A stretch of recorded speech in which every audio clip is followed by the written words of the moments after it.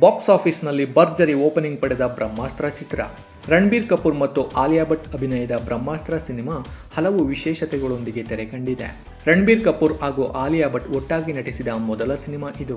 ಮೊದಲ ದಿನ ಒಳ್ಳೆಯ ಕಲೆಕ್ಷನ್ ಮಾಡುವುದರ ಜೊತೆಗೆ ಬ್ರಹ್ಮಾಸ್ತ್ರ ಸಿನಿಮಾ ಬಾಲಿವುಡ್ ಬಾಕ್ಸ್ ಆಫೀಸ್ನಲ್ಲಿ ಕಮಾಲ್ ಮಾಡಿದೆ. ಈ ಚಿತ್ರದಿಂದ ಬಾಲಿವುಡ್ ಮತ್ತೆ ಚೇತರಿಕೆ ಕಂಡಿದೆ.